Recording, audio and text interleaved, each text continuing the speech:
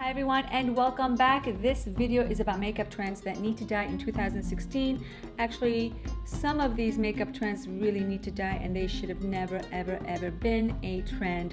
And my eyes are super red and watery and I have a little bit of foundation on. I just couldn't finish the makeup look to do this part of the video so you'll know why in a minute. Now uh, Wayne Goss and Jackie Anna or Anya filmed a video like this not too long ago. I'll put both video links down below. So check them out, of course, after you watch this video. Now, if I offended anybody, I do apologize. It is meant to be a fun video. So let's get started and you'll see why my eyes are so red.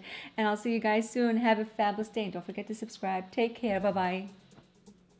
I'm not getting enough coverage. Yeah, that's better. Now it's covering everything I needed to cover. More is better. More is better, people. Looking good. I think that's plenty. Should I add more? No, I think I got it covered. Alrighty then, it is time for some concealer. Just a wee bit. I have so much going on under the eyes. I must cover it all.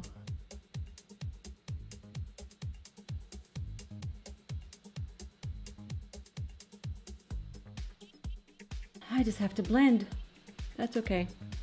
I have another hour or so. Oh, I need more blending. More blending. I will not smile. I will stay like this so my wrinkles are not accentuated. It's time to contour. Here we go. Under the chin, over here, under here. Let's not forget the nose. You gotta get that nose nice and thin. Oh, why not right here?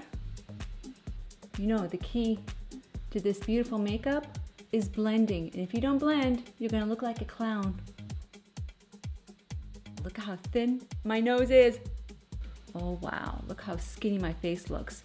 Is this not amazing or what? I'm just showing you some of the things that I like to do to my face to thin it out. Especially after the holidays, you know, you eat so much and all that fat goes right into your face, so you must thin it out. Do I look thin?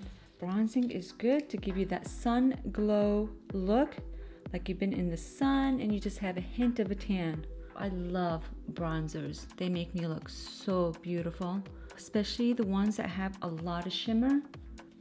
Don't forget the neck and your chest.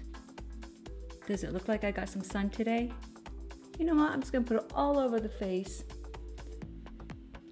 I think I wanna make my lips so much bigger. I have thin lips, but I wanna make them bigger, as if I just got injections in my lips. I love that look. The bigger, the better. Do you think they're big enough? I think so. Just think of all the money I just saved. Wow. Mm, gorgeous. So hot and sexy. It's time to do some highlighting, also known as strobing. For some reason, highlighting has been rebranded as strobing. I don't know why they came up with that word, but let's just say highlighting. I think we should get rid of the word strobing and keep it as highlighting. So I'm going to do some, not a lot, but a little bit of highlight. Look at that. That's just to lift my cheeks up. Could you see that? Like I said, we don't need to do a lot of highlighting. We just need a little bit. Remember, a little goes a long way. I think I'll do it on my chin, cupid's bow, under my lower lip, my forehead, and of course down the center of my nose just a little bit. And there you have it. It is highlighting, it's gorgeous. It just lifts everything that needs to be lifted, even your nose, I guess. But I think it looks amazing. It is more than okay to change the shape of your eyebrows. You don't want to overdo it, but you just want to have slight change, and this is how it's done. You want to draw a line up, and you want to go like this, and then go on the bottom a little bit and do the same thing follow the shape of your eyebrows and then fill them in. Just like that. Eyebrows are so important because if they're not done properly, your makeup will not look so good. Look at this. This is what I call the perfect eyebrows. And there you have it. See how gorgeous that is? Now one of my favorite eye looks is the winged eye. You can create so many beautiful looks with just black eyeliner and it's absolutely gorgeous. Just go as long as you can all the way out. The longer it is, the better. And this is how it's done.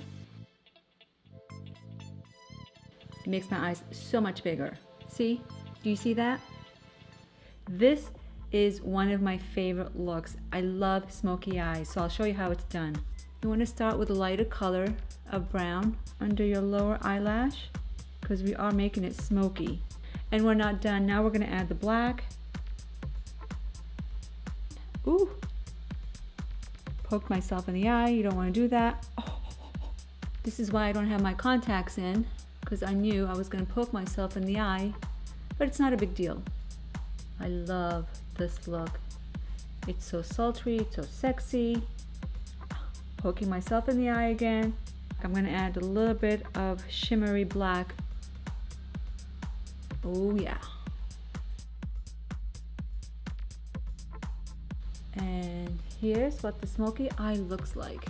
Gorgeous eye look. Look how red my eyes are. I don't know if you can see my red eyes because I poked myself in the eye several times, but that is okay. It's not a big deal. I can always use eye drops. I have them somewhere.